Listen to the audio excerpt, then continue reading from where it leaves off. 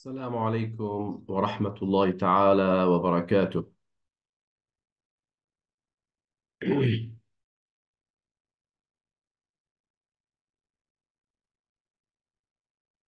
حياكم الله وأهلا وسهلا بكم في درسنا الجديد من دروس السيرة النبوية المباركة على صاحبها أفضل الصلاة وأتم التسليم. الحمد لله رب العالمين والصلاة والسلام على سيدنا محمد وعلى آله وأصحابه أجمعين. اللهم علمنا ما ينفعنا وانفعنا اللهم بما علمتنا. اللهم زدنا علما وعملا وفقها في الدين يا أرحم الراحمين. اللهم افتح بخير واختم بخير واجعل عاقبة أمورنا إلى خير. بلطفك وجودك وكرمك يا أرحم الراحمين. اللهم لا سهل إلا ما جعلته سهلا وأنت إذا شئت جعلت الحزن سهلا.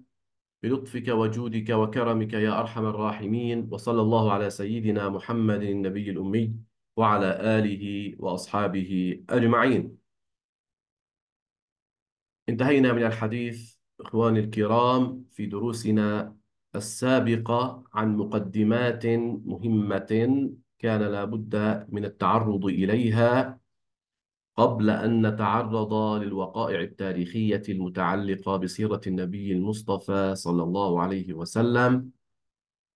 تلك أمور كان لابد من معالجتها أمور منهجية تعرفنا على كيفية التعامل مع أحداث السيرة المباركة. بل تعرفنا على الفرق بين السيرة والحديث وأن معاملة روايات السيرة معاملة الأحاديث النبوية من حيث الشروط والضوابط الشديدة التي آه، وضعها علماء الحديث أو اتفق عليها علماء الحديث لإجرائها على الأحاديث النبوية لكونها سننا ومصدرا للأحكام الشرعية فكان لابد من أن يشدد فيها الشروط أو تشدد فيها الشروط. وهذا خلاف للسيرة النبوية التي إذا عاملناها بتلك المعاملة فإننا نظلمها ظلما شديدا.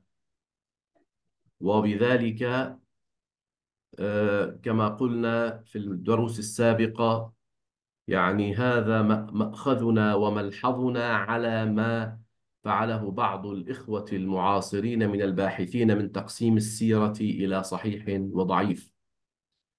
واليوم إن شاء الله إخواني الكرام سوف نتعرض لشذرات من سيرة النبي المصطفى صلى الله عليه وسلم ثم نبين الدروس والعبر المستفادة من السيرة. ذلك أن وقائع السيرة كثير منكم يحيط بها علما ولا تخفى عليكم.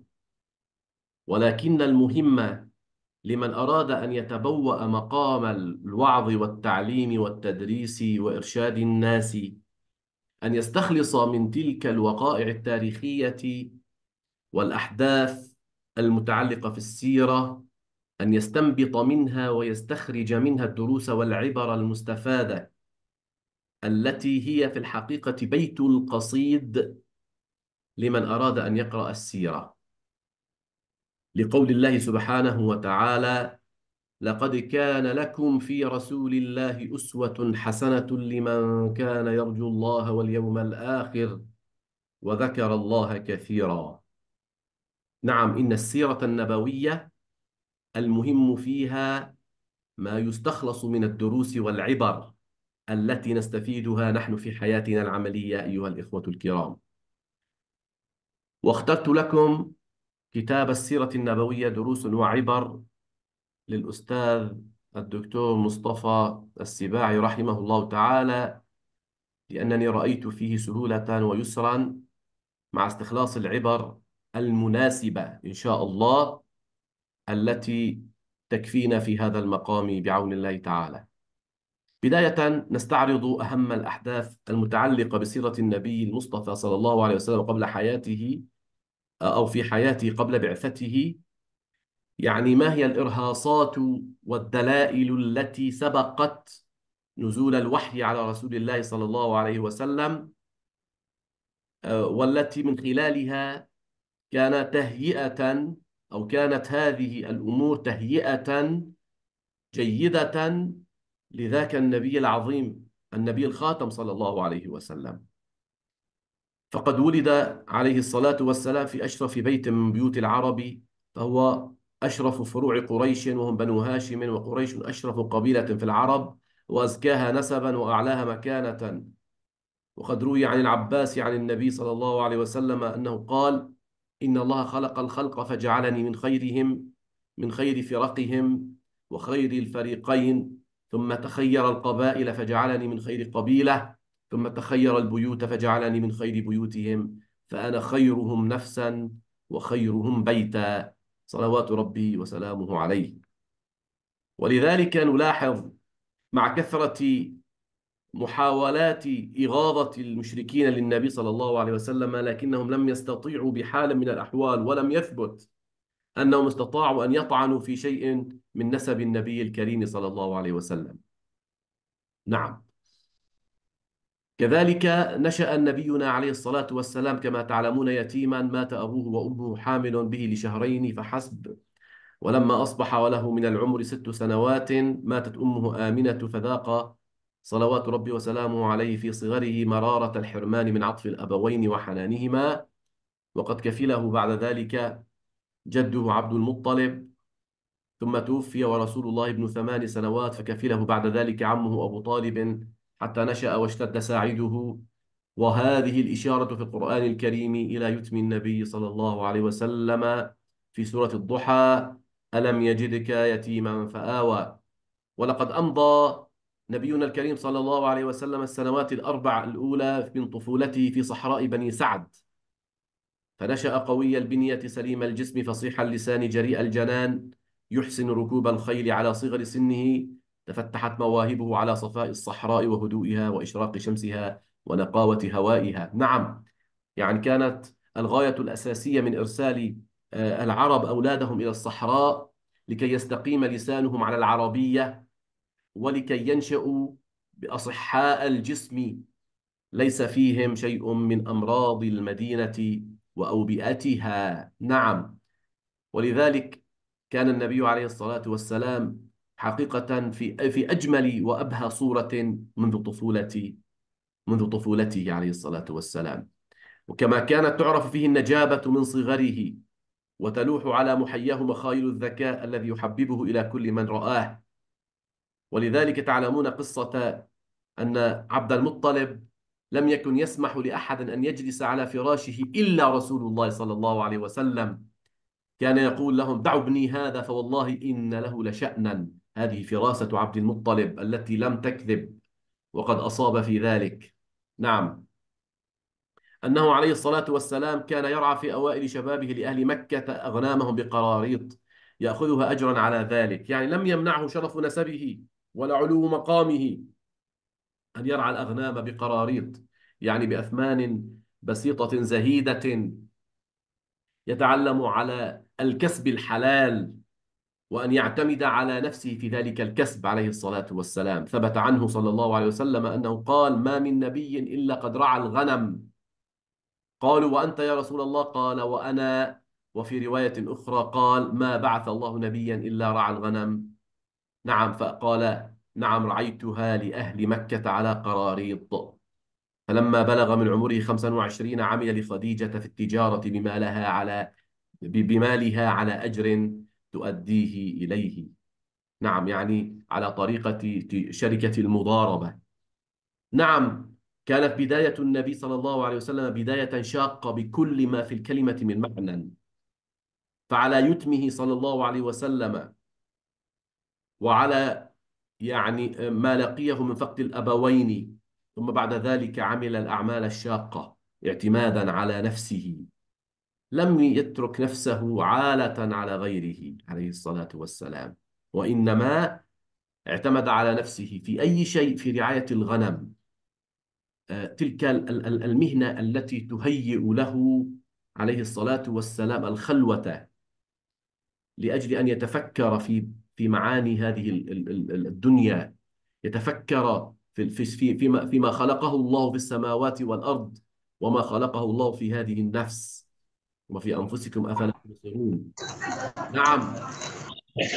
ولو سئلنا بسؤال ما هو سبب هذه اختيار صنعة رعي الغنم أو مهنة رعي الغنم ذلك أن من رعى الغنم أيها الإخوة فإن ذلك يهيئه لرعاية الأمم. نعم.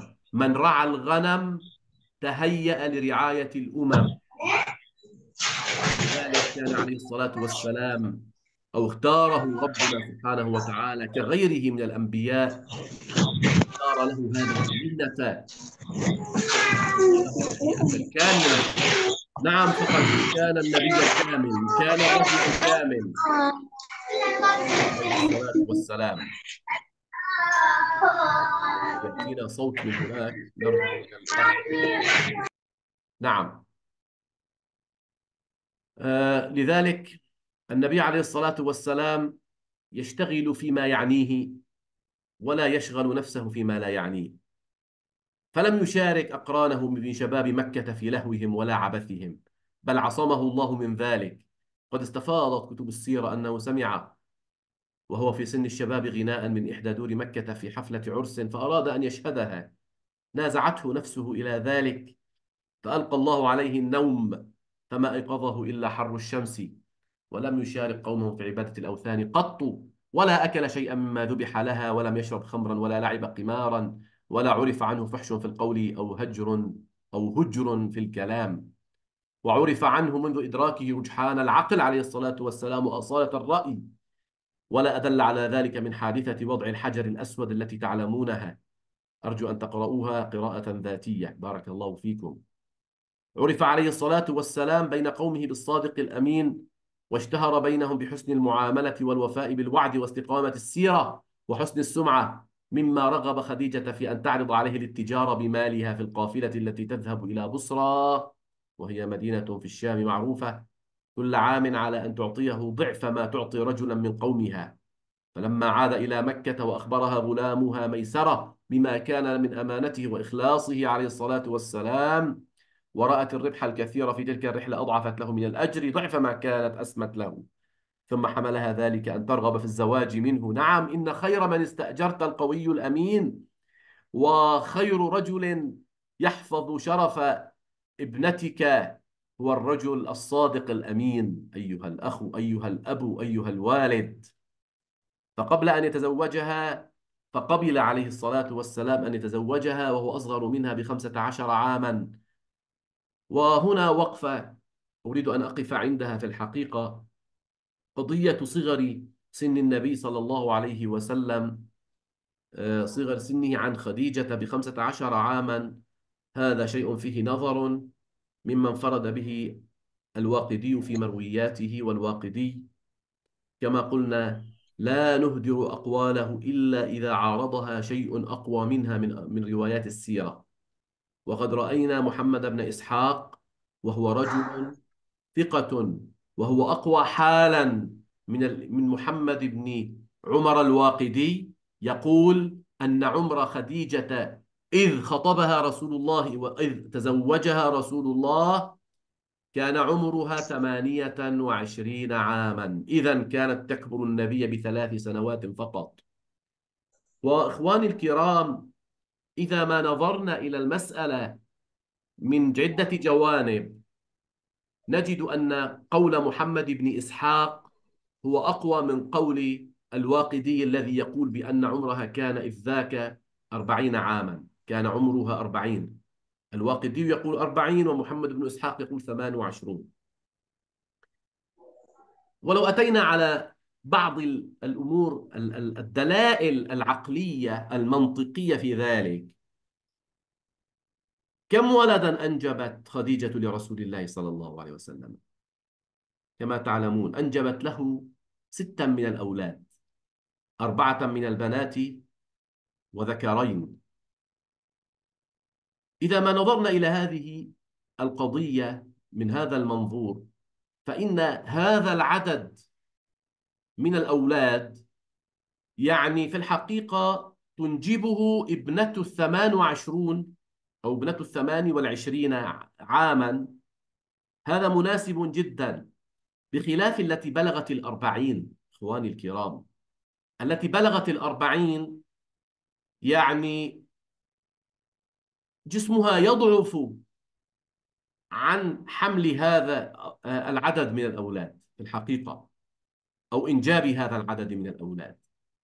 فلا بد لنا أن يعني ننظر إلى القضية من جانبين. الجانب الأول قضية آه يعني رجحان ما قاله محمد بن إسحاق لكونه أوثق وأجل في هذا المجال من الواقدي. يعني لا, أريد أن آه، ننسى ونحن نتحدث في هذه القضية ما بدأناه بالحديث أو ما تحدثنا عنه في دروسنا السابقة من أن أهل السيرة حينما يختلفون فيما بينهم فإن لنا يعني يمكننا أن نرجح بعض أقوالهم على بعض أما إذا اتفقوا على شيء فاتفاقهم يكون محل اعتبار وهو محل احترام وتقدير. أما أن يختلفوا ففي هذه الحالة يمكننا أن نرجح. ومن المرجحات كما قلنا هو جلالة مقدار ابن إسحاق على الواقدي وكذلك القضية المنطقية من حيث إنجاب ستة من الأولاد وهذا يناسب ابنة الثمان والعشرين في الحقيقة. لا نريد أن نقف طويلا أردت التعليق على هذه القضية. ثم بعد ذلك لكم أن تقرأوا في هذه المسألة فإن فيها مرجحات أخرى لمن أراد أن يتوسع في ذلك. إذا رغبت خديجة في الزواج من رسول الله صلى الله عليه وسلم الذي كان أصغر منها على الراجح بثلاث سنوات وليس بخمسة عشر عاما. ولذلك يعني بعد فترة من زواج النبي عليه الصلاة والسلام جاءه الوحي يعني بعد خمسة عشر عاما لأنه الوحي جاء إلى النبي صلى الله عليه وسلم وقد أكمل الأربعين. نعم. وأيضا سافر النبي عليه الصلاة والسلام في تجارته أو في عمل التجارة خارج مكة مع عمه أبي طالب إذ كان عمره 12 سنة والثاني كان عمره 25 متاجرا لخديجة بمالها. وكلتا الرحلتين إلى مدينة بصرى في الشام وفي كلتيهما كان يسمع من التجار أحاديثهم ويشاهد آثار البلاد التي مر بها والعادات التي كان عليها سكانها. يعني لاحظوا إخواني هناك تهيئة حقيقية لنبينا الكريم صلى الله عليه وسلم. يعني يطالع عادات أهل البلاد وينظر في ما آه، يعني في في طريقة تفكيرهم وفيما يعتقدونه ويعني يستطيع من خلال ذلك أن يكون أمامه دراسة كاملة أو شرح كامل واف. كيف يتعامل عليه الصلاة والسلام مع هذه النخب أو هذه الأطياف من الناس؟ نعم. كل أناس يناسبهم شيء. والنبي الكريم عليه الصلاة والسلام هو سيد الدعاة. والداعية لا بد أن يحيط علما بعادات الناس وتقاليدهم ويعرف ما, هي طبائعهم وكيف يتحدث معهم وكيف يدخل إلى نفوسهم. فهذه أيضا قضية التجارة كان لها فائدة أخرى غير قضية الاعتماد على النفس ولا وهي قضية مطالعة عادات الناس وتقاليدهم وطبائعهم. نعم. كذلك حبب إلى النبي عليه الصلاة والسلام قبيل البعث بسنوات أن يخرج إلى غار حراء وهو جبل يقع في الجانب الشمالي الغربي من مكة على قرب منها في الجانب الشمالي الغربي يخلو فيه لنفسه مقدار شهر وكان في شهر رمضان لماذا أيها الإخوة؟ للتفكر في آلاء الله في نعم الله وعظيم قدرة الله وقد استمر النبي عليه الصلاة والسلام على ذلك إلى أن جاءه الوحي ونزل عليه القرآن الكريم. وقد أتم الأربعين أو بلغ الأربعين كما قلنا. من خلال هذه الوقائع العاجل العاجلة أو التي استعرضناها بشكل عاجل أيها الإخوة الآن نصل إلى الدروس والعظات المستفادة التي هي بيت القصيد لكل داعية مسلم. ولكل أب ولكل قائد ولكل أستاذ لكل إنسان في أي موقع من. من مواقعه أو في أي موقع من المواقع التي يشغلها الإنسان في حياته يستفيد دروسا وعبر كثيرة هي دروس في الحقيقة لمن. لمن تمعن. ونظر إلى هذه الوقائع نظرة المتأدب نظرة المتعلم نسأل الله سبحانه وتعالى أن يرزقنا حسن الاتباع والتأسي. نعم. إخواني كلما كانت الداعية آه، إلى الله أو المصلح الاجتماعي في شرف من قومه كان ذلك أدعى إلى استماع الناس له. نعم. يعني شرف النسب له دور أو أهمية عظمى في تلقي الناس وقبول قولهم وقبول آه، هذه الدعوة وقبول هذا القول. الاستجابة إلى هذا الداعي وقبول قوله. نعم. ولذلك في الحديث الذي يرويه الإمام أحمد وغيره حينما يقول لوط لقومه لو أن لي بكم قوة أو آوي إلى ركن شديد سيدنا رسول الله يلفت النظر إلى قضية الركن الشديد يقول ركنه هو الله ولكن لوطا عنا قومه وعشيرته. لم يكن لوط يعني في شرف من قومه. ولذلك الله سبحانه وتعالى بعد قصة لوط جعل كل نبي أو بعث كل نبي في في منعة من قومه في شرف من في أشرف قومه يعني. لماذا كما قلنا؟ لأن ذلك يكون أدعى إلى الاستماع الناس وقبول وقبولهم قوله. نعم. وأيضا لاحظوا قصة أبي سفيان حينما وقف بين يديه هرقل في القصة المشهورة وسأله هرقل فقال له آه يعني وقد سأله كيف رسول الله فيكم نسبا؟ فقال له هرقل فقال له أبو سفيان إن رسول الله صلى الله عليه وسلم كان فينا كان فينا ذا نسب كان فينا ذا نسب أو ذو نسب. فقال هرقل زعمت أنه من أشرفكم نسبا وكذلك لا يختار الله النبي إلا من كرام قومه وأوسطهم نسبا. انظروا يعني أصبح هذا الأمر معروفا عند الجميع أن النبي لابد أن يكون من أوسط قومه شرفا ونسبا حتى يكون ذلك أدعى لقبول قوله. طبعا هذه القضية تتعلق في جانب جانب الدعوة لا في جانب الفخر.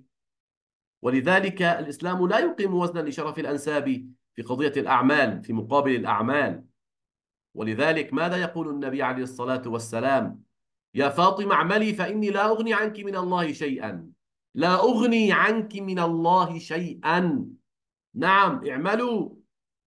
ولذلك آه، يعني آه، كما يقول النبي عليه الصلاة والسلام في حديث آخر من بطأ به عمله لم يسرع به نسبه. فلذلك عند مقابلة النسب مع العمل النسب لا يفيد شيئا. إنما المطالب به الإنسان عمله كي ينظر إلى عمله لا ينظر إلى نسبه. وأنتم تقرؤون دائما سورة الحجرات. ما هو؟ ما ماذا جاء في سورة الحجرات أيها الإخوة؟ ماذا قال؟ ماذا قال الله سبحانه وتعالى في سورة الحجرات؟ أرجو المشاركة. من يشاركني شيء يتعلق بهذا الأمر؟ تفضلوا إن أكرمكم الله أتقاكم. نعم. إن أكرمكم عند الله أتقاكم. آه بارك الله فيك. يقول ربنا سبحانه وتعالى إن أكرمكم عند الله أتقاكم. مع أنه قبل ذلك ماذا قال؟ وجعلناكم شعوبا وقبائل لتعارفوا. إذا ما هي الغاية من ذكر الأنساب والشرف والعشيرة لأجل التعارف لأجل بقاء النسب لأجل اتصال النسب؟ وأما في مجال التقوى أو في مجال العمل إذ العمل هو من أهم شروط التقوى. العمل بما يرضي الله العمل بما يوافق شريعة الشريعة الإسلامية بما يوافق القرآن والسنة هو أول دليل على التقوى. إن أكرمكم عند الله أتقاكم. ومن بطأ به عمله لم يسرع به نسبه. ولكن في مجالات أخرى كما قلنا فإن النسب له أهمية خاصة إذا كانت إذا كان هذا الداعية يتبوأ مركزا للوعظ والتعليم. ولذلك يقول النبي صلى الله عليه وسلم أو هذا معنى قول النبي عليه الصلاة والسلام خياركم في الجاهلية خياركم في الإسلام إذا فقهوا. يعني إذا تعلموا الفقه ودرسوا علوم الإسلام بشكل صحيح. أيضا من قصة يتم النبي صلى الله عليه وسلم نستفيد أن الدا أن أن الداعية عليه أن يتحمل الآلام في يتمه وفي عيشه. وهذا الأمر يجعله أكثر إحساسا بالمعاني الإنسانية. يعني الذي يذوق هذا هذه الآلام فإنه يحس بغيره. ويمتلئ قلبه بالرحمة والعطف أيها الإخوة نحو اليتامى والفقراء والمعذبين. فنجد أنه حينما يحدثهم يتكلم معهم بما يناسب أحوال الناس ولا يتكلم بأشياء بعيدة عن متناول عقولهم وأحوالهم وعواطفهم ونفسياتهم. فهذا التدريب الذي تعرض إليه النبي عليه الصلاة والسلام على شظف العيش وغلظ العيش ومشقة الحياة منذ صغره. وكذلك في تجاراته وفي عمله في رعاية الغنم. لاحظوا كل هذه الأمور المشاق التي تحملها رسول الله صلى الله عليه وسلم هي حقيقة مما يجعل كل داعية يعلم أن هذا هو الطريق الصحيح لأجل أن يمتلئ قلبه إحساسا بالمعاني الإنسانية النبيلة. نعم. وكذلك عيش الداعية في جو أقرب إلى الفطرة حينما يعتزل هذا الداعية الناس حينما يكونون في حالة من الغفلة. يعني كيف نحن نقيس هذا الأمر؟ نحن لا يجوز للداعية أن يعتزل الناس الآن اعتزالا كاملا. لا يجب أن يختلط بالناس ويباشر آه، دعوتهم ونصيحتهم وإرشادهم. لكن يبتعد عن مواطن الغفلة. لا يكثر الذهاب إلى الأسواق ويتسكع في الطرقات ويجلس في مجالس اللهو التي فيها الغفلة عن ذكر الله سبحانه وتعالى والبعد عن آه، ما يهم المسلم في حياته من الذكر وغير ذلك. نعم. إذا الداعية هنا يبتعد عن الجو الذي فيه الفوضى وفيه الغفلة إلى جو أقرب إلى الفطرة ويبتعد عن الحياة المعقدة لأن ذلك يجعل ذهنه صافيا أيها الإخوة ويجعل عقله وجسمه في أعلى درجات القوة والاستعداد النفسي. نعم ونحن ما أحوجنا إلى هذا إلى هذه الخلوة. إذا استطعنا أن نقول إذا صح لنا التعبير بذلك. إخواني الكرام قضية أن النبي عليه الصلاة والسلام هيأه الله من الناحية آه، الداعية. نختار للدعوة أناسا أذكياء أيها الإخوة. لا يتأهل لمركز الدعوة وقيادتها إلا الذكي النبيه فإن الأغبياء والمتوسطون في نجابتهم أبعد الناس عن جدارة القيادة الفكرية. هذه قضية مهمة. يعني نحن آه، يعني نهمس في أذن كثير من إخواننا وأحبابنا أهل الدعوة. نقول لهم لا يجوز لكم أو لا ليس من الأولى بكم أن تصدروا أو تجلسوا في الصدارة في صدارة الدعوة والكلام والكلام مع الناس أناسا. لم يلبثوا أن جاءوا قريبا من الطرقات ونعم هم اهتدوا. وأعلنوا توبتهم وأحسنوا كما يقال سيرتهم. ولكن أيها الإخوة لابد أن يختار لمن يتحدث مع الناس الصفوة الأذكياء من الصفوة أيضا الذين يستطيعون أن يدخلوا إلى عقول الناس وقلوبهم. نعم فلا يجوز أن يكون الاختيار هكذا كما يقال على غير هدى وغير تخطيط.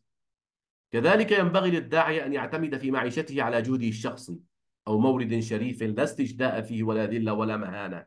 لاحظوا النبي عليه الصلاة والسلام في صغره رعى الغنم على قراريط على أجور بسيطة جدا. لا يعني ليست على سبيل الاستغناء وإنما على سبيل الكفاية. نعم المهم أيها الإخوة أن يجد الإنسان ما يسد رمقه وما يغنيه. لا أن يجعله من من من أهل الغنى والثراء الفاحش. لا المهم أن يحترم نفسه ولا يستجدي غيره ولا يذل نفسه. وقد قال النبي عليه الصلاة والسلام في حديث صحيح لا ينبغي للمؤمن أن يذل نفسه. انتبهوا إلى هذه المعاني العظيمة أيها الإخوة التي نستفيدها من سيرة النبي الكريم عليه الصلاة والسلام. ولذلك الدعاة الصادقون يربؤون بأنفسهم, بأنفسهم أن يعيشوا على صدقات الناس وأعطياتهم.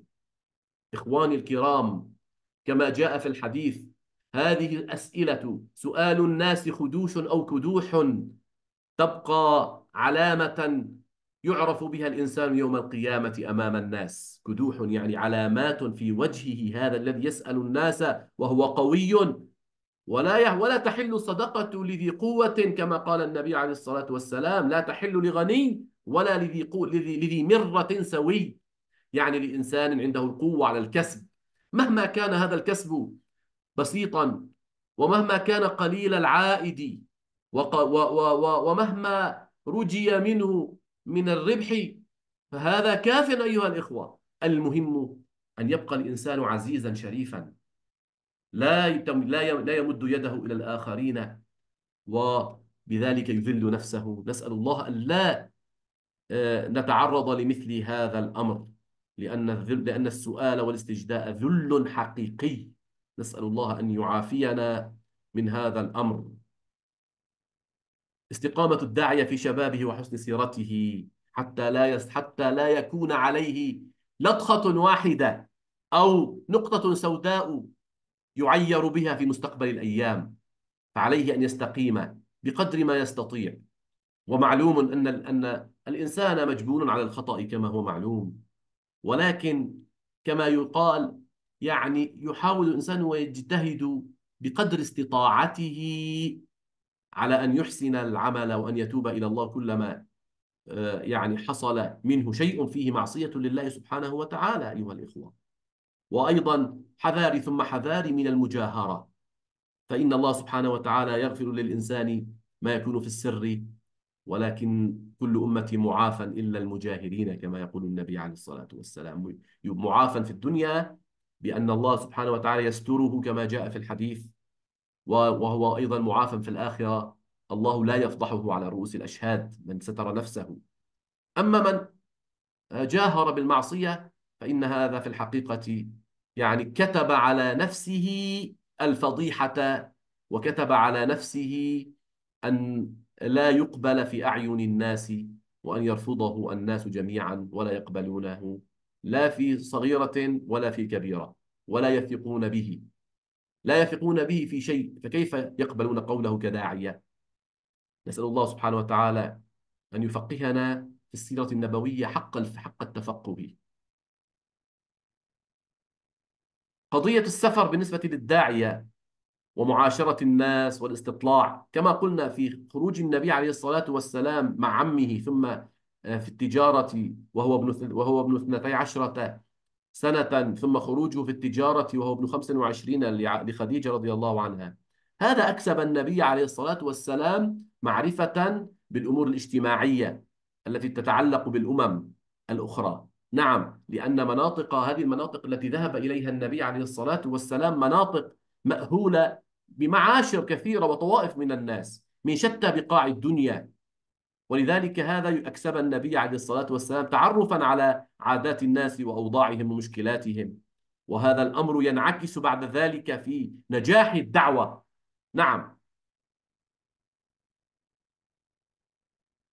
أيضا ف يعني النبي عليه الصلاة والسلام يعني بهذه الحالة عرف علية القوم وعرف أواسط الناس وعرف سفلة القوم فهو فقد تعامل مع الجميع عليه الصلاة والسلام. وهذا الأمر أيضا انعكس بعد ذلك على آه، كيفية آه، نظرة النبي عليه الصلاة والسلام للناس. فيعني عندما كان يتكلم النبي عليه الصلاة والسلام مع بعض الناس كان ربما ينظر فيهم نظرة تجعله آه، يعطي تقريرا مختلفا عن عن الجماعة الذين تكلم معهم في حالة أخرى. فيعطي كل شخص ما يناسبه من النصيحة وكل شخص ما يناسبه آه، من الأوامر. فيعني من الأمور التي يعني التي يناسب ذكرها هنا. النبي عليه الصلاة والسلام تعامل مع أهل البادية ومع أهل المدينة. فعندما جاءه الأعراب وأعلنوا إسلامهم وقالوا للنبي صلى الله عليه وسلم لا نصلي إلا صلاتين كما جاء في حديث صحيح قبل منهم رسول الله. لأن النبي عليه الصلاة والسلام عرف طبائع هؤلاء القوم. إذا إذا ما شد عليهم فإنه يخشى أن يخرجوا ولا يعودوا.